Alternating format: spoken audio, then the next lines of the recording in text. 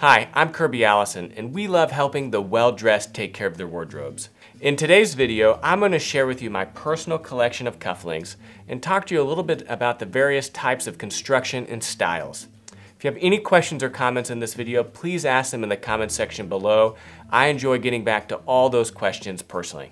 One of the beautiful things about cufflinks is that they are one of the few opportunities for a gentleman to wear jewelry in good taste but also they present an incredible opportunity to display your individual style. In fact, some gentlemen are so well known for the types and styles of cufflinks that they wear that they've become their signature. I have cufflinks that I've inherited from my grandfather Daddy Boy that I'll pass on to my own children, which is another special thing about developing a collection of cufflinks over one's lifetime. Cufflinks come in several different types of constructions. The most common type of construction you'll find is the swivel back. Now this allows for a cufflink uh, to feature just one side of jewelry, and because this barbell can be swiveled, it's very easy to insert it through the cuff. Uh, the problem with the swivel back is that you end up with one side of the cufflink that doesn't have any type of ornamentation or jewelry. Which brings me to the next few styles uh, that I personally enjoy more. Uh, the next style is what is called uh, the chain construction. Now the chain construction just has a simple chain that links the two sides. Uh, this is more commonly seen uh, with uh, jewelry on both sides, which I prefer.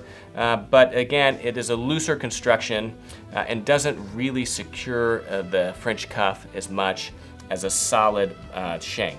Now here we have a, a pair of our Codis Maya cufflinks that we sell here at the Hanger Project beautiful enameled motif, solid shank, but again, it doesn't have any type of ornamentation on the back. And finally, my favorite style of cufflink uh, is cufflinks with a solid curved shank, uh, but more importantly, with jewelry on both sides.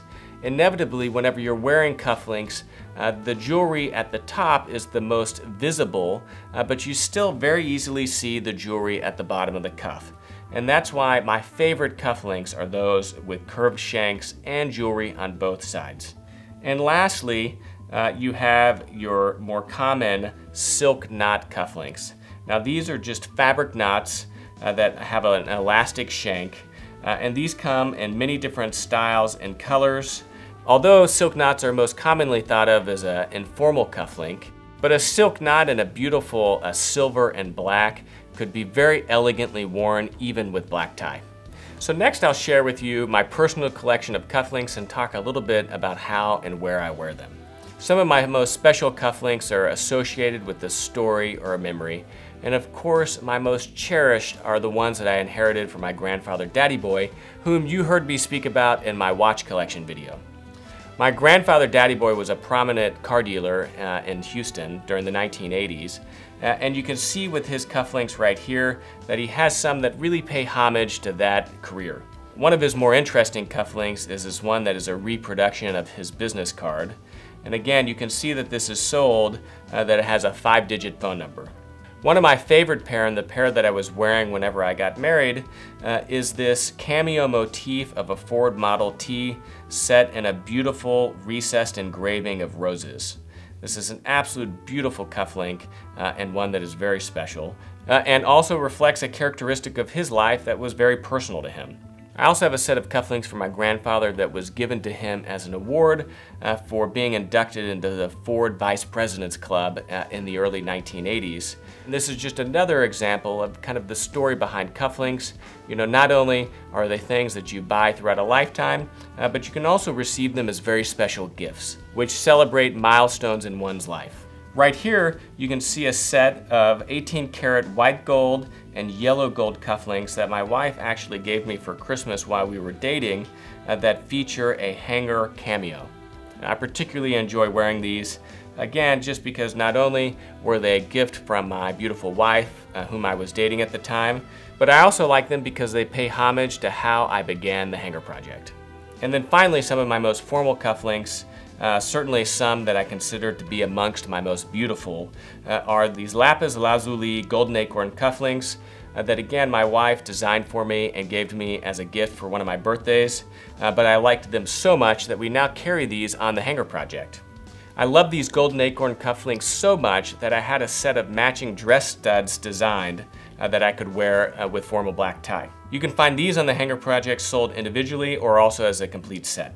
And one of my most recent additions uh, is another cufflink that is very similar in design to the golden acorn, uh, but has an interesting flower design with a dark green jade. Again, it has the jewelry on both sides with a nice curved shank made in 18 karat gold. And I'm proud to announce in this video that we've just had these reproduced and are now making them available to you on the Hanger Project. Cufflinks can also indicate membership in an organization. At my club in London, at our annual meeting, you'll oftentimes find a lot of members wearing uh, their club cufflinks or their club tie. And it's just something that we do for camaraderie uh, and indicate you know, that we're all a member of this same organization. Now, personally, whenever I'm in Texas, I really prefer to wear barrel cuffs.